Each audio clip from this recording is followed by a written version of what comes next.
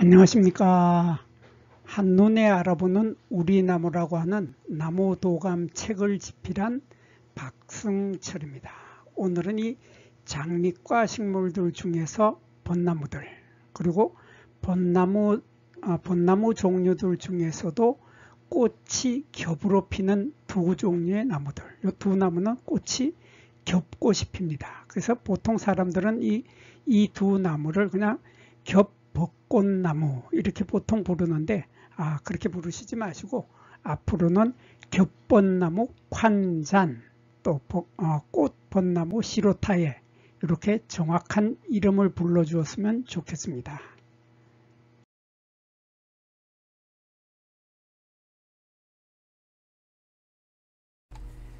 먼저 이 겹벚나무 관잔이라고 하는 이 꽃을 한번 보겠습니다. 이 벚꽃 어, 겹벚나무 관잔이라고 하는 꽃은 와 꽃이 피었을 때 보면 나무 전체가 밝게 변해버리죠. 밝게 변했는데 이 꽃이 너무나 아름답게 피어서 나무 전체를 뒤덮고 있는 모양을 보게 되면 사람들은 황홀경에 빠져들게 됩니다. 황홀경에 빠져들도록 너무나 아름다운 꽃을 활짝 나무 가지 전체를 뒤덮고 있는 모습은 아 정말 눈부시도록 아름다운 그러한 모습의 꽃을 피우는 것이 바로 겹벚나무 관잔입니다. 이 겹벚나무 관잔의 꽃을 자세히 들여다보면 어, 이 꽃은 다른 벚나무보다 늦게 핍니다. 늦게 피어서 보통 벚나무들이 이 벚나무들 다른 벚나무들은 4월 어, 10일경에서 15일경 그러니까 중순에 꽃이 피는데 요 겹벚나무 관잔이라고 하는 꽃은 5월달이 되어서야 꽃이 핍니다. 그러니까 벚나무들이 벚꽃 잔치를 다 끝내고 그 마무리로 어, 마무리로 요 이 벚꽃나무 관잔이 대미를 장식하게 되는 거죠.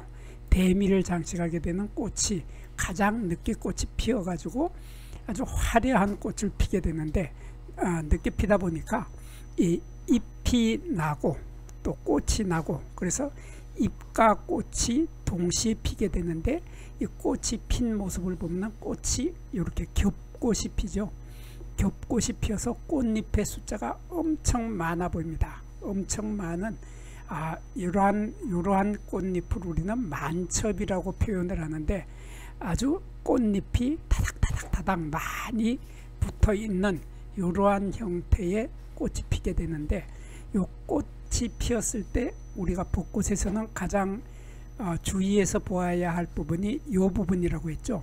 여기 어, 작년 가지에서 이렇게 꽃자루가 작은 꽃자루가 하나 둘 셋 넷 네 개의 작은 꽃자루가 나와서 꽃이 피는데 이 작은 꽃자루 아래에 여기에서부터 요 어, 작년 가지까지 여기에서 여기까지의 이 부분을 우리는 화서축 한자로는 화서축이라고 하고 우리말로는 꽃대축이라고 합니다. 이 꽃대축이 보면은 상당히 긴 편에 속하죠. 상당히 길다란 꽃대축을 가지고 있는 겹꽃을 피는데 그 꽃의 색깔이 아 정말 화려한 분홍색이죠.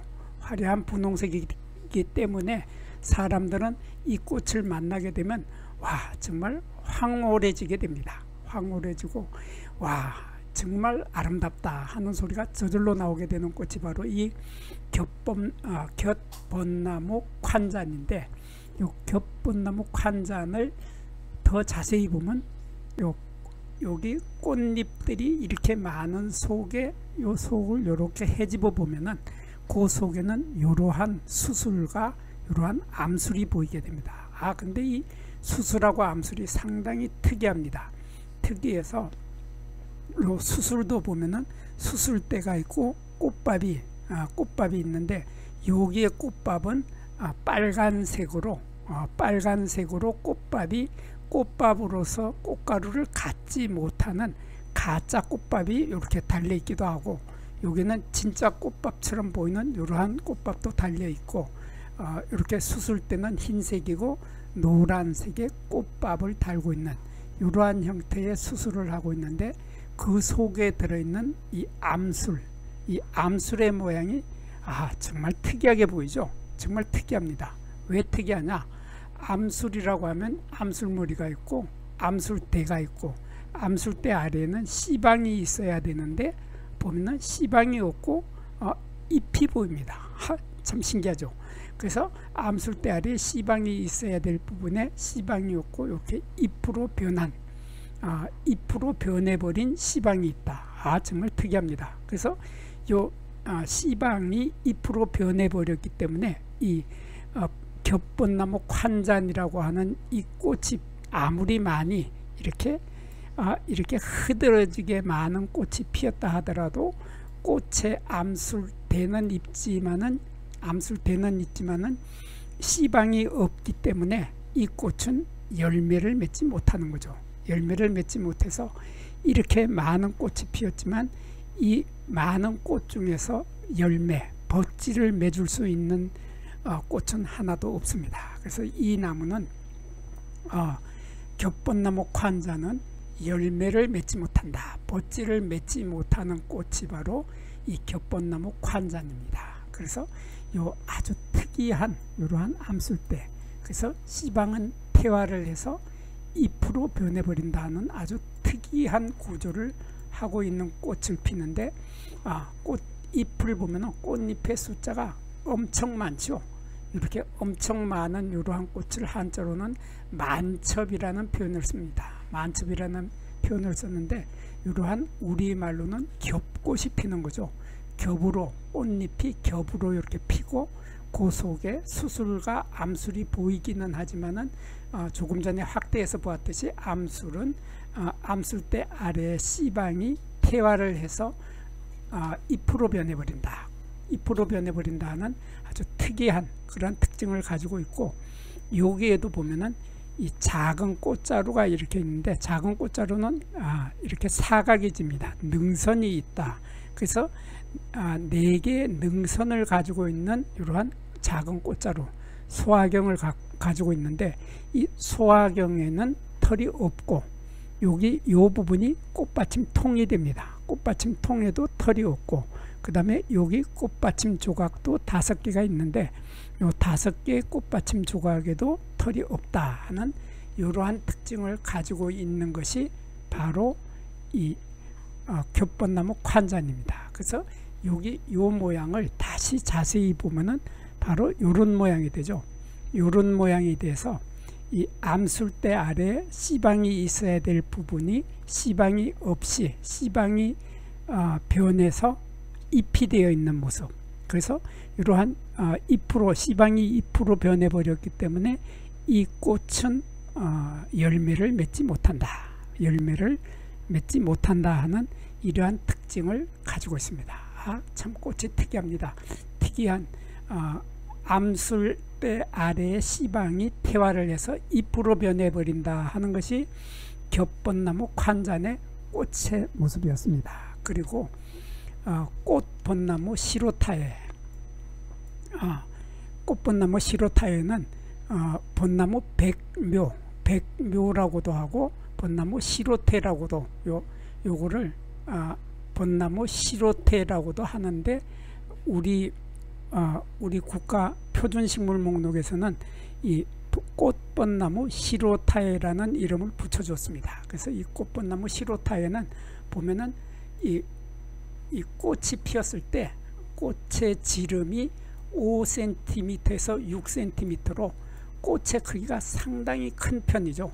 아, 보통 본, 어, 보통 벚꽃들의 벚나무들의 꽃 벚꽃들은 대개 어, 꽃의 지름이 한 3cm 정도 되는데 이 시로타에라고 하는 이 꽃벚나무는 꽃의 지름이 5cm에서 6cm 정도 되면서 이렇게 여기에 어, 꽃이 달렸을 때 여기 꽃대 축도 길게 나타나고 꽃대 축의 끝에 이렇게 하나 둘셋 세 개의 꽃자루 작은 꽃자루가 나오고 그 꽃자루 끝에는 어, 꽃이 피는데 이 꽃은 겹꽃이 핀다. 겹꽃이 피어서 꽃잎이 많은 만첩의 꽃을 달고 있다. 그런 뜻이고 조금 전에 보았던 겹번나무 관잔처럼 여기 여기를 확대를 해서 보면 이런 모습이 되죠. 그래서 암술대가 있고 암술대 아래에 있는 C방이 C방이 C방으로서의 역할을 못하고 잎으로 변해버린 이러한 이러한 모양은 조금 전에 보았던 겹벚나무 관잔이나 이 꽃벚나무 시로타에나 같은 모습이죠. 같은 모습이고 이렇게 수술대는 어, 흰색인데 수술대 끝에 노란색의 꽃밥을 달고 있습니다. 그리고 꽃대축에 보면은 꽃대축은 이렇게 되어 있는데 어, 여기에서 재미있는 것은 바로 이 부분이죠. 꽃대축이 끝나고 어, 작은 꽃자루가 여기 세 개가 보이는데 이 작은 꽃자루에 털이 없으면서 여기 어, 꽃대축은 길게 나왔는데 꽃대축의 끝부분 그리고 작은 꽃자루의 아래쪽에는 이렇게 포엽이 달리죠. 아, 포엽이라고 하는 잎이 이렇게 달려있는 이러한 모습을 볼 수 있습니다. 이러한 아주 특이한 꽃을 피우는 것이 바로 꽃벚나무 시로타예인데 이 꽃벚나무 시로타예의 아, 꽃대 쪽은 이렇게 생겼고 요 뒤쪽을 보면은 여기 여기에 아, 작은 꽃자루 작은 꽃자루에도 털이 없고 여기 이 부분이 꽃받침 통인데 꽃받침 통에도 털이 없고 다섯 개의 요 꽃받침 조각 꽃받침 조각에도 털이 없습니다. 털이 없고 이러한 꽃을 피우는 것이 바로 어, 꽃꽃나무 시로타에의 꽃이 핀 모습이었습니다.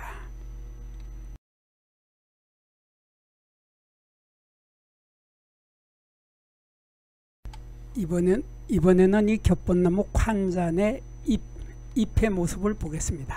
잎을 보면 어, 잎은 다른 벚나무들처럼 잎이 어긋나게 달리겠죠. 어긋나게 달리게 되는데 어, 벚나무 종류들은 어, 장미과 식물들은 대개 어긋나게 달리고 벚나무 종류들도 대개 다 어, 잎이 어긋나게 달립니다. 어긋나게 달리면서 잎의 모양은 이렇게 달걀 꼴이거나 난형이거나 달걀처럼 생긴 길둥근꼴 달걀처럼 생긴 어, 난상 타원형이죠. 이렇게 난상 타원형 달걀 같은 길둥근꼴의 모양을 하고 있는데 잎을 자세히 보면은 여기에서 여기까지 길이가 아, 잎의 길이가 8cm에서 12cm 정도 됩니다.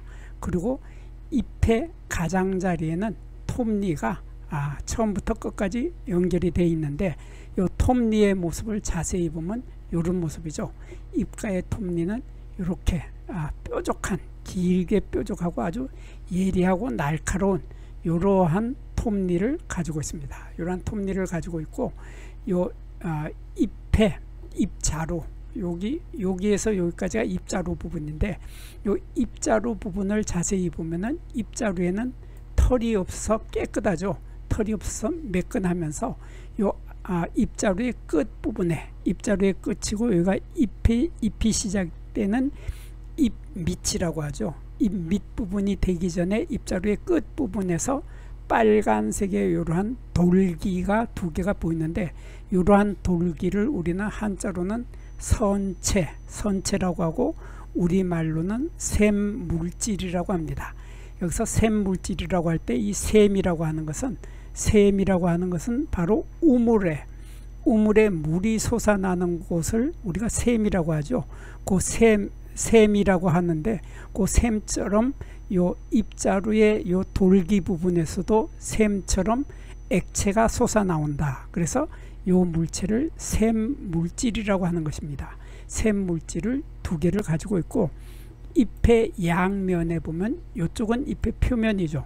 잎의 표면에도 털이 없고 잎의 뒷면에도 털이 없는데 잎의 뒷면은 아, 분백색으로 흰색이 많이 들어가 있는 이러한 모습의 잎을 하고 있습니다. 이러한 잎을 하고 있는 것이 아, 바로 어, 겹벚나무 관잔, 관잔의 아, 잎의 모습을 보았습니다. 다음으로 이 겹벚나무 시로타에, 시로타의 잎의 모습을 보면 어, 벚나무 종류들은 잎을 가지고 나무들을 구별하기가 아, 구별할 수가 없을 정도로 잎의 모습들이 다 비슷비슷하죠. 비슷비슷해서 여기 잎이 달리는 모습을 보면 여기도 잎이 어긋나게 달립니다. 그러니까 잎이 마주 달리지 않고 어긋나게 달리기 때문에 호생하는 거고 요 잎의 모양은 이렇게 달걀 모양을 하고 있구나 이렇게 길다란 긴 타원형의 형태 그래서 긴 길둥근꼴의 형태를 하고 있으면서 잎은 길이가 여기에서 여기까지 길이가 8에서 어, 12cm 정도 되고 요 폭은 3cm에서 4cm 정도 됩니다.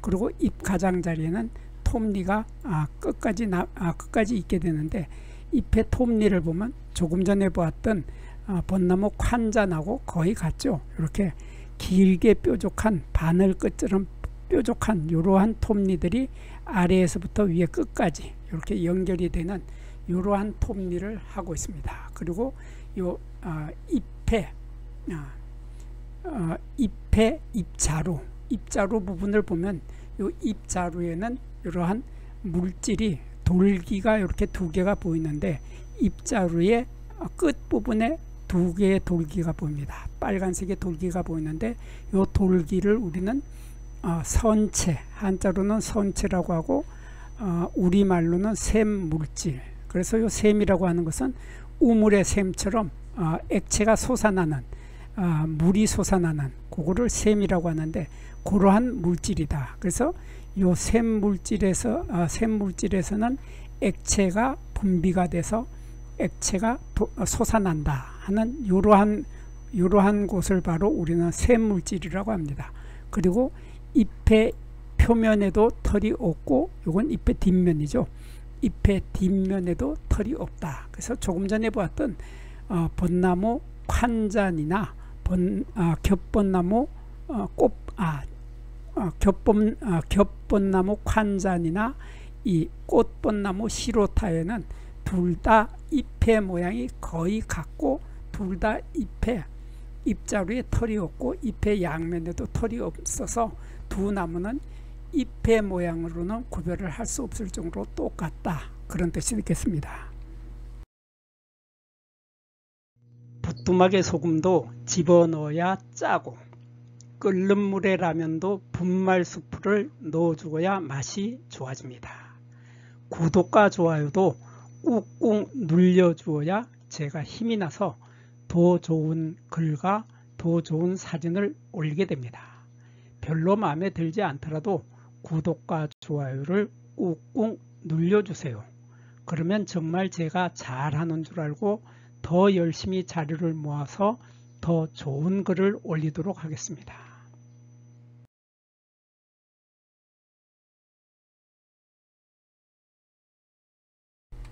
이 겹벚나무 관잔이나 이 꽃벚나무 시로타에 이 두 종류의 나무는 나무들은 보면은 겹꽃이 피면서 이 암술대의 아래쪽에 씨방이 잎으로 변해 버렸었죠.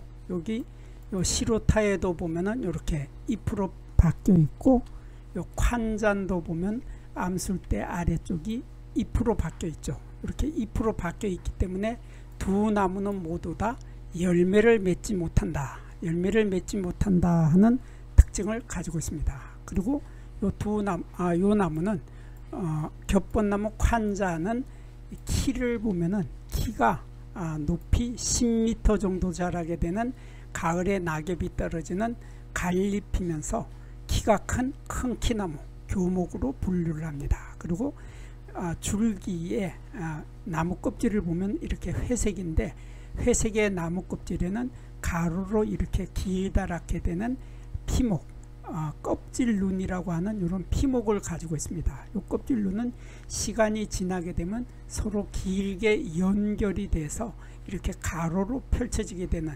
가로로 이어지게 되는 이러한 어, 피목 껍질눈을 가지게 되는데 이러한 피목을 가지고 있는 것은 벚나무 종류들의 공통적인 특징이기도 합니다. 그리고 어린 가지에는 털을 가지고 있지 않고 또 여기 겨울 눈을 보면은 겨울 눈은 아, 길게 뾰족한 이러한 아, 달걀꼴 아, 난형의 형태의 겨울 눈을 하고 있습니다. 이러한 아, 이러한 키 10m 정도 자라는 것이 겹벚나무 관잔, 아, 관잔이었습니다. 그리고 이 어, 꽃벚나무 시로타에도 마찬가지로 이 꽃이 피었을 때 여기에 어, 요게 씨방에 씨방이 씨방이 꽃, 아, 씨방이 잎으로 변해버렸기 때문에 열매를 맺지 못하는 것은 마찬가지입니다. 열매를 맺지 못하고 이 꽃벚나무 시로타에 요 꽃벚나무 시로타에도 이 키를 보면은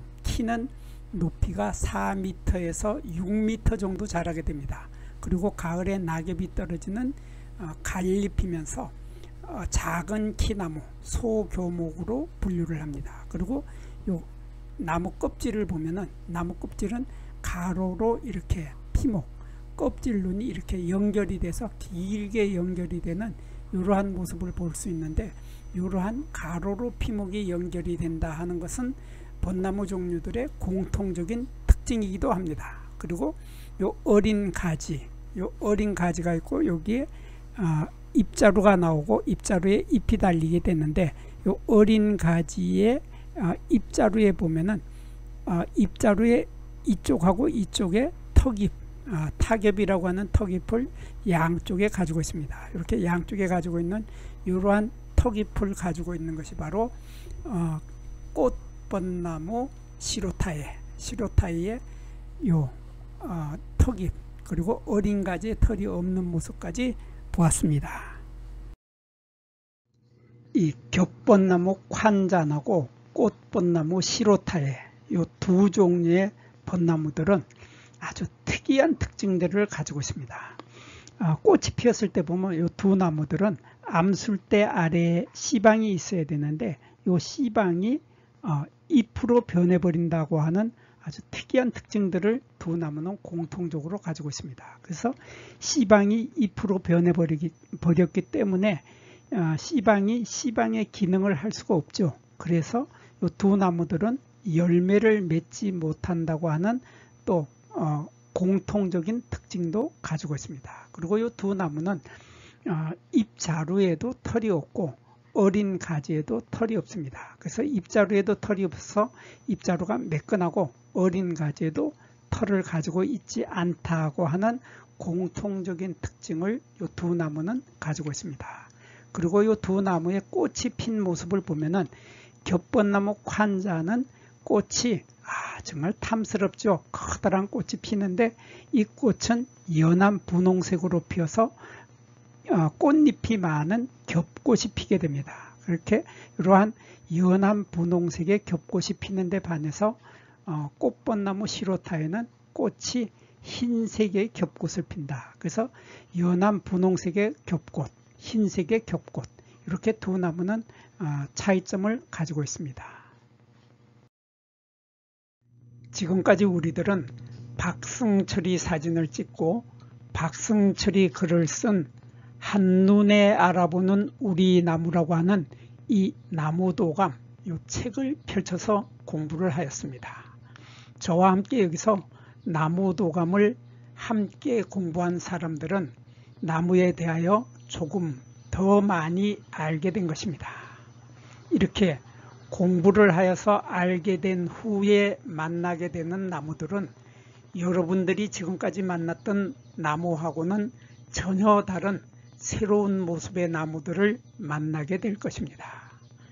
공부를 하고 난 후에 만나는 나무는 바로 내 친한 친구를 만나는 것처럼 반갑고 호기심 넘치고 흥미진진한 기쁨을 가슴 가득 안겨주게 될 것입니다.